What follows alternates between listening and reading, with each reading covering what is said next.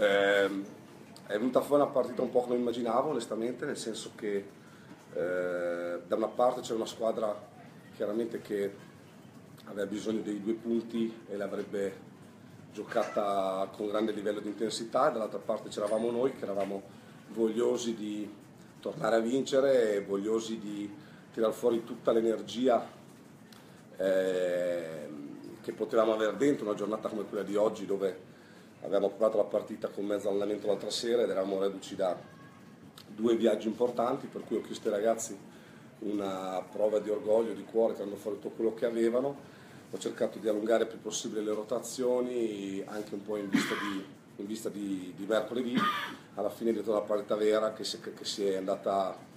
a decidere sui dettagli, sui particolari. La cosa che mi fa piacere è che anche in situazione di stanchezza siamo riusciti a, a tenere la Vanoli nell'ultimo quarto a 9 punti, alternando sempre difese aggressive, che fosse la zona, che fosse la uomo, tirando fuori eh, grande sacrificio e voglia da parte di tutti, per cui complimenti ai miei ragazzi. Come avevo detto nel pre-partita, è una squadra che comunque non ci ha mai deluso dal punto di vista del cuore e degli attributi anche stasera ha dimostrato in un campo molto difficile contro una squadra di qualità come quella.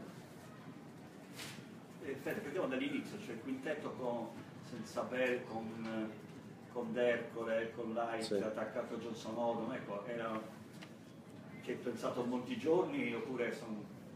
delle scelte obbligate? O comunque no, è il mestiere, eh, come avevo detto, il, mestiere, il mio mestiere è quello di provare a fare in modo di consentire alla squadra di avere sempre la possibilità a ogni singolo giocatore di dare il 100% suo e soprattutto di dare alla squadra sempre un po' di benzina a livello di margini di crescita che ci possono essere, che ci possono stare. Ero curioso di vedere questo tipo di assetto con l'essi da playmaker, era una situazione che mi interessava eh, per ragionarci sopra, per avere la possibilità di avere tanti esterni, tanti piccoli che potessero andare a marcare eh, non soltanto Odo ma anche, ma anche Turner che è un giocatore molto importante per loro.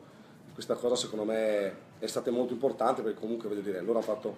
9 punti nel quarto quarto, il secondo tempo alla fine è diventato un secondo tempo da 30 punti, ragionando sul fatto che i primi due quarti erano stati eh, quasi da 50, per cui voglio dire, era l'unico modo per avere un po' di benzina, un po' di energia.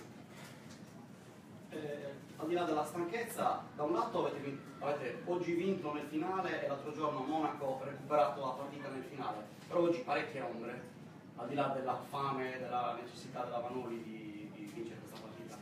Parecchie ombre così, cioè, da, Del, individuali? Dei molto importanti dal punto di vista del, della squadra, ecco, non vado a cercare... Secondo me i passaggi a vuoto sono stati nella seconda metà del primo quarto, ma perché eravamo stati troppo bravi nei primi cinque e perché comunque la Vanoli ha tanta qualità e quando la Vanoli può correre fa qualcosa di, di importante come è venuto fuori. E poi nell'approccio nel terzo quarto, però io tante ombre non le ho viste, sono sincero, nel senso che forse perché ho molto rispetto della Vanoli, forse perché so che comunque non è facile eh, nel momento in cui vieni via il giovedì, il giovedì sera, fai, fai allenamento venerdì, sabato riparti, forse averci quella, quella, testa diciamo così intensa, così attiva in funzione del fatto che poi il mercoledì devi già giocare una partita di quel peso. Non lo so, metto insieme tutte le varie cose, probabilmente devo rivederla, forse ragione te che sei più eh, a freddo rispetto a me, però ti dico, secondo me sec- la seconda parte del primo quarto l'abbiamo bucata, ma perché erano stati bravi nei primi cinque. L'approccio del terzo quarto abbiamo fatto fatica, forse non eravamo così intensi, così veri, loro non molto addosso a Lessi e quindi questo però voglio dire non ho visto tante ombre, ho visto una, una squadra che, che, ci tiene tanto, una squadra che si fa il mazzo, una squadra che nel quarto quarto quando ha deciso di tappare il canestro l'ha tappato e per me dobbiamo partire da quello per poi avere un buon futuro. Ma quanto è importante giocare con Lessi e Lati assieme? Cioè ti danno difesa, energia, attaccano il ferro, sono, poi fatto anche triple. Sono dei giocatori che hanno, che hanno eh, una grande capacità di intercambiabilità, nel senso che Lati può marcare la palla lei si può marcare la palla, però al tempo stesso Lighty può marcare il 4 o il 3 e anche lei si può marcare il 3. E secondo me questa è una cosa che specie quando arrivi nel fondo della stagione devi inventare qualcosa di nuovo ti può dare una mano. È chiaro che è una situazione dove eh, la puoi fare, deve, cioè devi utilizzarli, non, non, dobbiamo partire dal presupposto che stasera in due hanno fatto 43 punti, dobbiamo partire dal presupposto che comunque in due ci hanno tanta energia, ci danno qualità e questa per me è la cosa più, più importante, sia dal punto di vista fisico che dal punto di vista tecnico. Abbiamo, abbiamo, faticato un po' a trovare l'uomo in profondità, lungo. Sì. Colpa nostra per la lentezza del del giro palla o bravi loro a mettere sempre pressione? Penso sempre che la verità stia in mezzo. Alla fine eh, i primi, primi 15 minuti abbiamo avuto una buona profondità perché, perché, perché la valle era molto presente sui blocchi, sui roll era molto presente. E poi dopo nella seconda parte della partita diciamo che il campo, il campo, è diventato più piccolo, più stretto, è diventata una pallacanestro più perimetrale, la Valle è uscita completamente di partita e a quel punto lì con l'assetto pesante, con l'Idecca là sotto, secondo me più, pagava di più creare triangoli sul lato debole per crearsi il tiro, per cui è stato un discorso di scelta, cioè dire che loro comunque l'area la riempiono molto bene. Sportando, sì. vorrei uscire un attimo dal punteggio, da tutto ciò che sta vedendo finora tornare alla realtà. Eh, questa partita Sassari l'ha persa, poi nell'ultimo minuto Cremona gliela regalata. Sì, però voglio dire, noi siamo in una condizione in questo momento che eh, abbiamo fatto tre mesi e mezzo di rincorsa incredibile perché abbiamo perso quattro partite, due in coppa e due in campionato, che sono finite con delle carambole che sono finite con delle palle spizzate e abbiamo lavorato tre mesi e mezzo per tornare dentro. Questa è la pallacanestro. Eh, è evidente che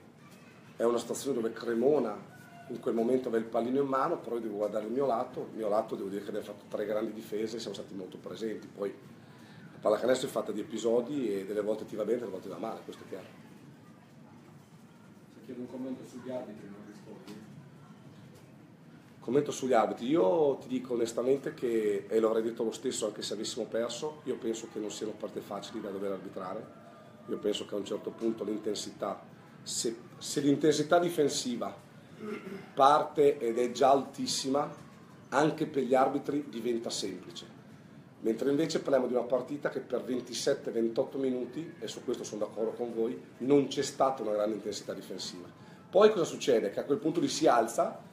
e chiaramente ci sono delle situazioni dove sia noi che Cremona abbiamo contestato, evidente. Voi fate riunioni con gli arbitri normalmente, esiste un qualche modo, input per cui eh, c'era una regola del vantaggio, visto i tanti falli a metà campo cercati e non fischiati? Lo chiedo senza nessun tipo di ironia, eh, lo chiedo in maniera molto eh, semplice, No, no, tu hai perfettamente ragione, nel senso che mi sono molto lamentato primo, secondo, quarto, secondo me sono state almeno due o tre situazioni dove noi volevamo, loro volevano. Stato è No, no, no. No, è una cosa che è una cosa che è capitata oggi, è una cosa che sta capitando, è una cosa che secondo me è molto legata all'intensità della partita che crei. Perché,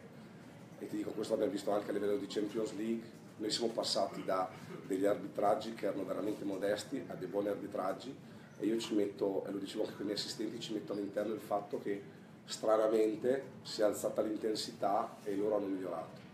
Allora penso che sia la stessa cosa, onestamente ti dico, un, un 48 a 49 come è successo oggi all'intervallo, situazione dove comunque i tiri erano comodi sia per Sassari che per Cremona, fa sì che vai all'intervallo e e magari nemmeno, nemmeno, per loro è facile fare un restart intenso dal punto di vista richiamato. Poi non è una giustificazione. No, no, no, ti sei... No, no, no, no, è una cosa che non funziona così assolutamente. Poi, sai, mi rendo conto neanche mestiere è tanto semplice, onestamente io sono uno che ehm, cerco di dar fastidio agli arbitri come facciamo tutti noi della categoria, ma in una maniera in cui cerco anche di capire la difficoltà del ruolo e mi rendo conto che eh, certe partite un po' ti fregano da questo punto di vista perché parti con questa intensità poi si alza e andare a modificare il metodo dell'altra partita non è facile. Tutto qua. Una parola su Monardi molto bene ma è difficile dirlo perché alla fine conti sembro mi rendo conto di non essere giustificabile, però eh, siamo sempre lì. Io penso che la nostra squadra sia una squadra che se ha rotazioni troppo lunghe, cioè se va oltre 10 giocatori, rischiamo di mettere in confusione quelli che sono i 10 protagonisti. Il discorso di Diego Monaldi ve lo dico da, dall'inizio dell'anno, secondo me è un giocatore fatto e finito, un giocatore che in queste squadre Serie A giocherebbe tanti minuti, stasera mi serviva per un discorso di eh, riequilibrio fisico-atletico di quelli che sono stati un pochino più spremuti ultimamente era pronto, ha giocato bene, ma mi sorprende giusto, lo vedo ogni giorno in allenamento ed è un giocatore che non ti rendi eh, mai conto che è l'undicesimo e che non gioca tre mesi. Buonasera a tutti, buon lavoro.